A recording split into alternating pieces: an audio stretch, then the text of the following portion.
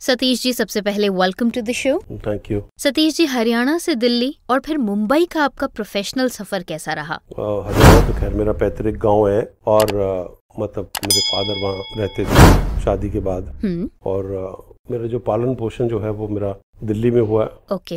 करोड़ बाग नाई वाला पैंतालीस नंबर गली। और फिर मैंने पढ़ाई हारकोट बटर स्कूल से की। तो मेरी जो परवरिश जो है वो दिल्ली में हुई है। बट क्योंकि गाँव हमारे बहुत पास था हरियाणा का एक छोटा सा गाँव धनोंदा जो जहाँ हमारे पिताजी हमारे ताऊ जी रहते थे पहले। तो पैतृक गाँव है वो मेरा। ओके। तो अभी हम तो ऐसे परिवार से थे हम कोई नैनीताल मसूरी या कहीं अब्रॉड तो छुट्टियों में जाते नहीं थे, जब भी छुट्टियाँ होती थी, हम लोग पहुँच जाते थे गाँव में, चाहे शादी हो, चाहे कोई फ़ंक्शन हो, चाहे गर्मी की छुट्टियाँ हों, सर्दियों की छुट्टियाँ हों तो गाँव में टाइम निकलता था जहाँ रेत में हम घूमते रहते थे, या रेलवे ट्रैक पे एक पैसा रख कर ना उसको पाँच पैसे को दबाते थे, ट्रेन निकल जाती थी उसके ऊपर से।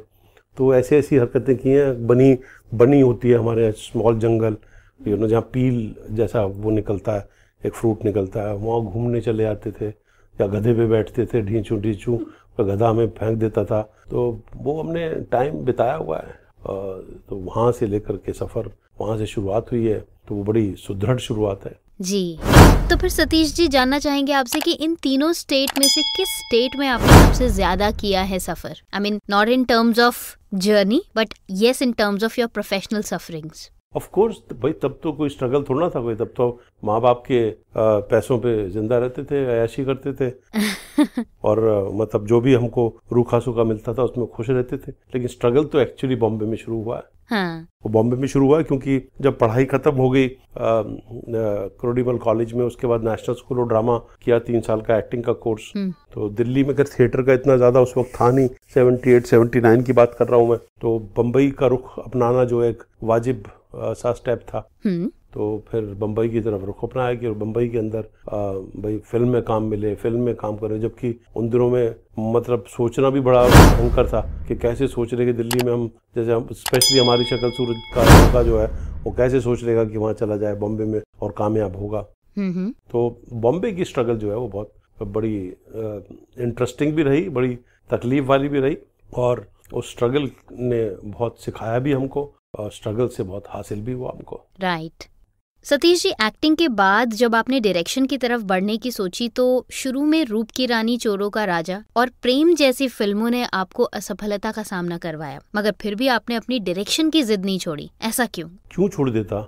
मतलब थोड़ा ना कि असफलता हुई है तो फिर कभी सफलता नहीं मिलेगी। असफलता और सफलता जो है वो सिक्के के पहलू हैं असल में। जी जी। तो ज़रूरी नहीं है पिक्चरों की तारीफ़ तो बहुत हुई थी बड़े भव्य स्केल पे बनाई थी वो। रूप की रानी चोरों का राजा तो बड़ी अहेड ऑफ़ टाइम्स पिक्चर थी। उसकी ट्रेन रॉबरी या उसके चेजेस या उसके गाने तो आज तक याद के इतने बड़े बड़े सेट्स कहाँ इस्तेमाल होते थे? हाँ। उन दोनों में प्रेम जैसी पिक्चर को डायरेक्ट करना जो कि लोकेशन के ऊपर पिक्चर थी बड़ी टफ थी। तो असफलता हासिल हुई लेकिन क्या होता है ना कि सफलता से दिमाग नहीं खराब करना चाहिए और असफलता से कभी डरना नहीं चाहिए। वो तो खैर राइट मतलब जवानी में जब आपको असफलताएँ मिलती हैं तो वो आपको कुछ सिखा के ही जाती हैं असल में। सीखने को मिला ताकि हम काम अपना अच्छा कर सकें कमर्शियल इंडस्ट्री के अंदर कैसे पैर टिकाएँ पिक्चर की लेंथ कितनी होनी चाहिए पिक्चर का सब्जेक्ट क्या होना चाहिए यू नो पर यह कि बड़े बड़े लोगों से काम करने को मिला था। भाई अनिल कपूर श्रीदेवी जैकी श्रॉफ यू नो बोनी कपूर जैसा प्रोड्यूसर जावेद अख्तर जैसा राइटर लक्ष्मीकांत पैरेला जैसा म्यूज़िक डायरेक्टर दोनों ही पिक्चरों के अंदर भव्य स्केल था।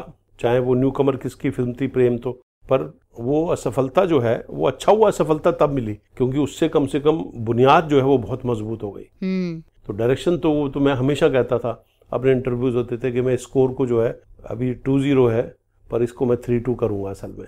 और वो हुआ, हम आपके दिल में रहते हैं, हमारा दिल आपके पास है, मुझे कुछ कहना है। बधाई हो, बधाई, तेरे नाम। ये सब हिट पिक्चर है सब।